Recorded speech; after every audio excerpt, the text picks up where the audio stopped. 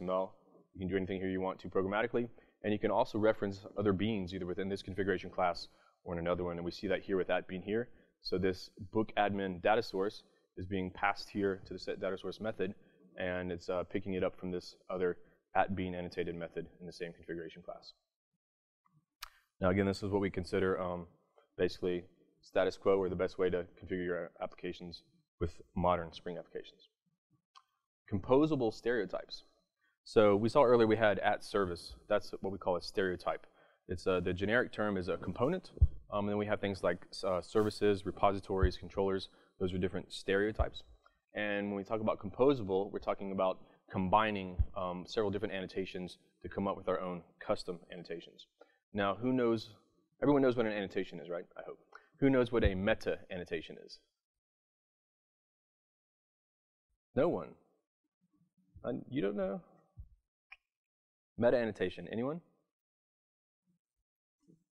Are you? Okay. just, just want to make sure at least you you two know what it is. Okay, so meta annotation is anytime you have an annotation on another annotation. So it's kind of used in a, in a meta sense. Um, it's very important to know that. Uh, if you ever look at the definition of or declaration of an annotation, they're all annotated with other annotations. You might see something like um, um, at retention or at, at target, stuff like that. So it's when you annotate physically in the, the source code, um, when you're defi defining an annotation, you put another annotation on top of it, that's a meta annotation.